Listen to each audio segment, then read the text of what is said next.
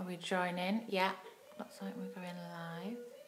Good morning, everybody. Hope you're well.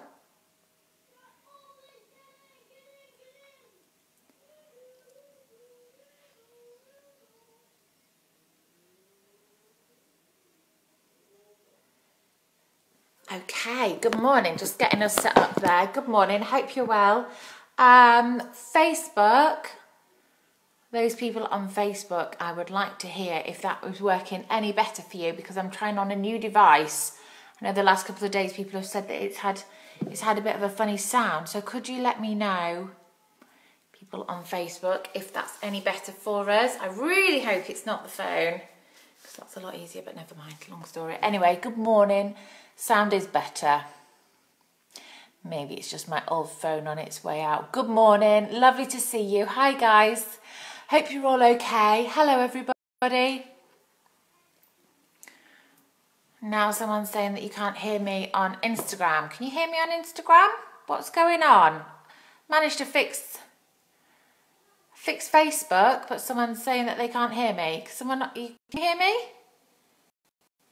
That's fine. Working on Facebook, Instagram. Can you hear me on Instagram? Somebody? Yes? Think so? Okay. For that person who's saying you can't hear me, it might be worth. Yeah, you can hear. Okay. Right. I don't know what's going on. Don't know what's going on. That person that just said you can't hear me might be worth switching off and switching back on again. so that's not my fault. oh dear. Okay. Good morning. Hello, everybody. Really nice to see you. Um, hello. Good. Okay. We seem to be working. Let's not speak too soon. Let's just crack on, shall we? Just in case. Hello, everybody. Hello, hello. Thank you. Just having a few technical issues. Honestly, I don't know why I work with technology because I really don't enjoy it and also don't know what I'm doing with it either. Anyway, good morning. Lovely to see you. Thank you very much for coming to play with me today. We're going to do a really nice, short, quick activity to get our brains thinking. And today we're going to be doing some measuring, which is one of my favourite things to do because we're going to do some measuring, um, measuring some funny worms. And then after that, you can pretty much measure everything around the house. So I'm hoping this morning, grown-ups, that you have a cup of tea. I'm hoping that this one should get your little ones off playing and inspired to go and do something. So lovely to see you all. Good morning. I'm going to crack on. My husband is sat with Mason for a minute and hasn't got long, so we need a quick one this morning. So very warm welcome everybody tuning in. So this morning, excuse me, you are going to need some paper. Oh, I've done white paper and I've got a white jumper on. So do you know what? I'm going to swap that because that makes it hard to see, doesn't it? Makes it hard to differentiate. Oh, I've got a lovely bright orange paper. Oh, that's lovely. Oh, that's cheering me up. Outside today in Nottingham, it's looking very grey and cloudy. So I'm so pleased I've chosen this really lovely, jazzy, bright orange uh, paper this morning and it stands out better from my jumper. You're going to need a pen or pens, whatever. and then I have asked you to bring some building blocks. Now it's completely up to you what you've got. I have got this Lego. I'm going to just use some Lego blocks with mine. Sure why I keep picking out the white ones this morning. I'm going to use some Lego building blocks this morning. You can use any building blocks that you've got at home. In fact, you can do this activity with loads of different things. If you've got buttons, if you've got coins, if you've got lots of little toys, anything like that, because we can do measuring with all sorts. So what we're going to do this morning using one of our pens is I'm going I'd like to show you and then you can copy. So it's going to be my go first and then your go, okay? Now on my paper, what I'm going to do is I'm going to draw some long and some short and some funny different size wiggly worms, okay? So I'm going to draw some worms on my paper and then you're going to have a copy. So can I show you first? Can you wait for me?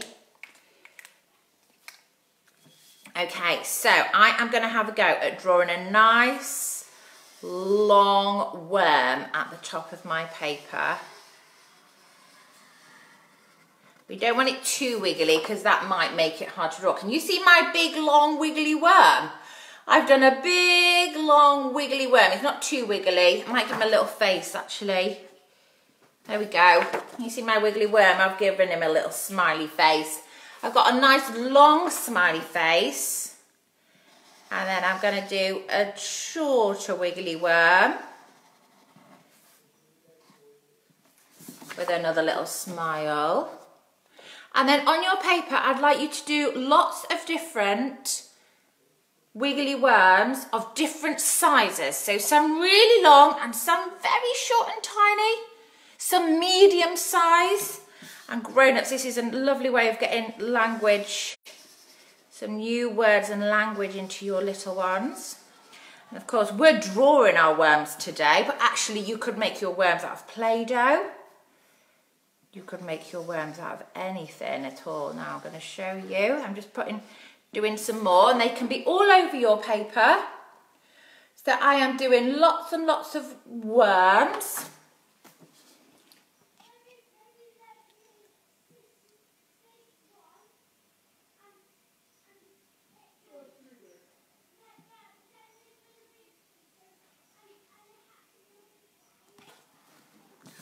Sorry, just reading what's being said. Okay, and then, so do lots of different size worms on your paper. So I've got some short worms. Oh yeah, pipe cleaners are a nice one to do. String, paper straws, anything like that. So you can do lots of different wiggly worms. You can do some nice long ones. We can do some little short ones. And we can do some medium sized ones. So three fantastic words that we can all have a go at using Actually, I'm to do a really tiny one.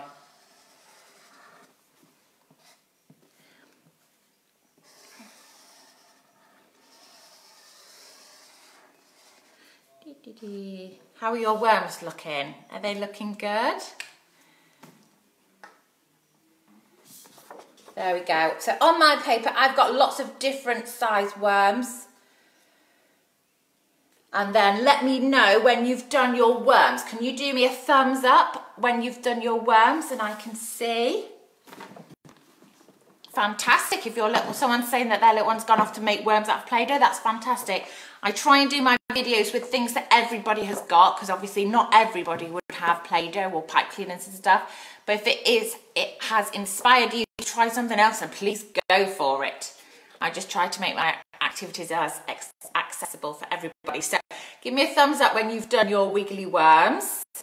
I bet they're looking great. And of course, we don't just have to do worms, do we? We could do all sorts of things. We could do any animals. I just fancied wiggly worms this morning. Okay, super. Sounds like you're all doing really well. So before we start, could you just have a look at your worms and could you use your pointing finger? Has everyone got a pointing finger? This is my pointing finger. Everyone get their pointing finger and can you point at a short worm? Can you have a look for a short worm? Have you got a short worm on your paper? Can you point to which one you think is short? maybe grown-ups, you can be there to support them with that. And we're going to have practice using the word short it's a really good one when we're doing measuring and length. So I'm looking and I found I found this little short one on mine. He's only small, isn't he? This is my short worm. Where is your short worm? Excellent. Okay, get that pointing finger ready. We're going to do some more pointing. I wonder if you can find a medium size worm, a medium size. Can you find one that you think is medium size?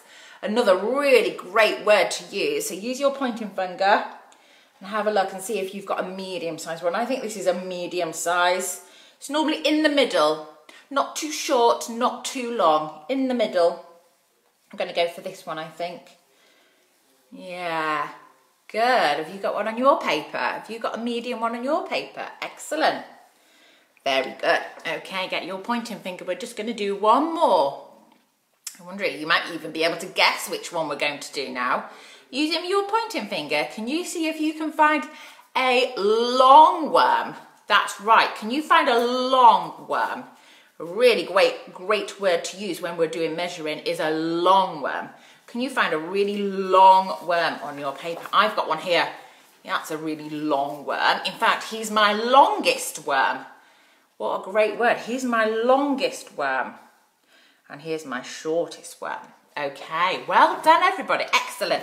Love that you've been having a go at finding and identifying your shortest, your medium and your longest worm. Okay, so this is where we're going to use our building blocks now to help us measure our worms. The way that we're going to do this is we're going to use our bricks and we're going to line them up on top of our worms and we're going to count them and see if we can work out how many bricks there are for the length of each worm. If you want to and you've got a pen, you could write down the number next to your next to your worm, couldn't you? That might be quite nice. So what we're going to do is we're going to have a go. Now, annoyingly, I can't pick this up to show you because it'll all slide off, won't it? You don't need to stick them together either. If you've got like Lego or something, you don't actually have to build them or stick them together, anything like that. All we're doing, see if I can lift this up to try and show you, is all I'm doing is I'm going to start at one end and I am going to place my bricks and we're going to have a go at measuring our worm to see how long they are. Like I said, you can do this with loads of different things. If you do have pipe cleaners or string, if you've got any bread breadsticks for snack time today, it's fun to do it with that as well. You could do it with shoelaces, you could do it with pipe cleaners, straws, you could do it with all sorts of things. And I'm just placing my bricks along my worm and, and then I'm going to stop when I get to the head. There we go I'm gonna stop at the head. I think that's about it. That's about uncovered. And once they're all covered, what you're going to do is use that pointing finger. Remember that pointing finger we were using before? We're going to use our pointing finger and we're going to carefully count how many bricks we've got. And it's important when we count our bricks that we take our time and we count them one at a time. So nice and slowly, we're going to count them one at a time. You ready? So let's count them. One, two, three, four, five, six, seven, eight. I've got eight on my worm. You might have a different number. And if you want to, you could use your pen and you could write down that number next to your worm if you want to remember how many bricks you used. It's up to you. You don't have to do that bit, but it's quite nice. Because then afterwards you can compare them, which is always a good one. Okay, so he was eight. So I might start again because I haven't brought many bricks with me today. I'm going to do another one you guys do yours. Can't wait to hear how you're getting on. Uh, let's do my meat. I'm going to do my medium worm now. I'm just lining up my bricks and I'm measuring today. Somebody says to you, what did you do today? You can say, I did measuring. We are measuring our worms and we're using lots of amazing words today, aren't we? measuring. We are measuring our worms. Oh, he wasn't too many today. So one, two, three, four, five on my worm. So I'm going to write that down.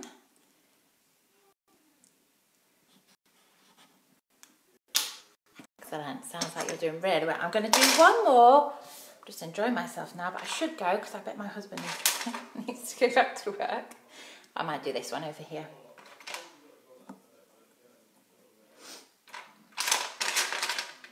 Like I said, you could use coins, you could use buttons, pom-poms, beads, any little things that you've got. Those little golden trucks I was using with Macy the other day would be nice for this. Absolutely, anything that you've got little things of would be lovely. This one's only three. That one didn't take long, did it? There we go. So you could do this in lots of different ways. So I'm going to finish there now, guys, because I have finished doing my worms. You, I'm sure you guys can carry on. i I've still got all my others to do. Only done some of them. I need to do the numbers for the other ones. So I'm going to carry on playing and I want you to carry on playing too. And like I said, I wonder what else you could measure. I wonder if there's anything else in your house that you could measure and see how long or short it is. Hmm, maybe you could take your building blocks or something else. And I wonder if there's something in your house that you could measure. Hmm. I would love to see what you get up to. Please do send me any photos of worms, of measuring, of short, of long, of medium, anything like that. And don't forget to keep practicing using those amazing mathematical words because they're all really great.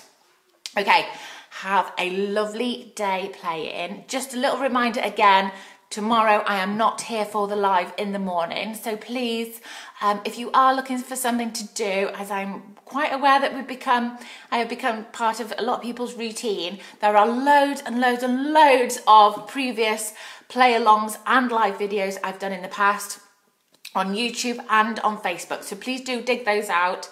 There must be something there that you can do with the kids this morning or repeat one of that you've already done and really enjoyed. It's always be really nice, wouldn't it?